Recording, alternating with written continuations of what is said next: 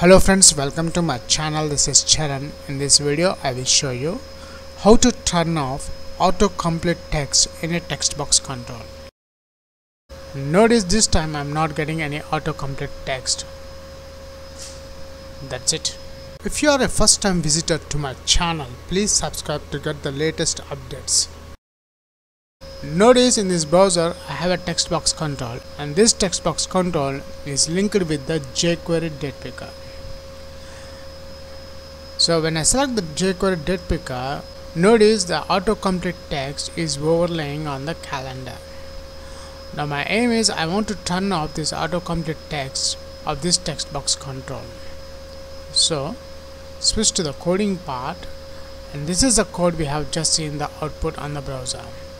To turn off the autocomplete text of a text box control in the form method just add autocomplete is equals to off that's it. Let's save this file. Notice I have added the autocomplete attribute of in the form tag. So let's check the output. I'm reloading the browser. Now this time I'm selecting the date. Notice this time I'm not getting any autocomplete text. That's it